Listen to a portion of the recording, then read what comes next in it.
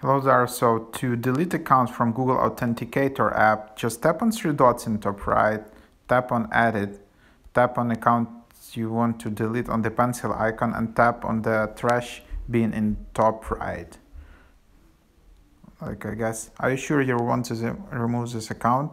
Before you remove this account, make sure you have other ways to sign in into your account. You can also turn off two-step verification and security checkup. So just think twice, make sure you have a way to sign in because otherwise, yeah, it can be troubling and maybe you, you can just lose the access and then just tap remove account.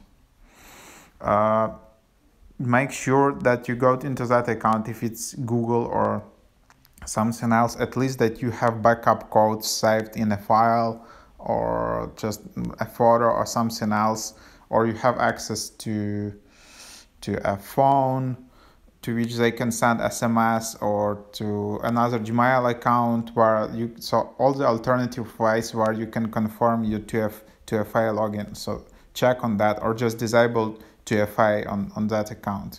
So do all of this before tapping this button because otherwise it can be non-restorable. So that is that and then just tap remove account.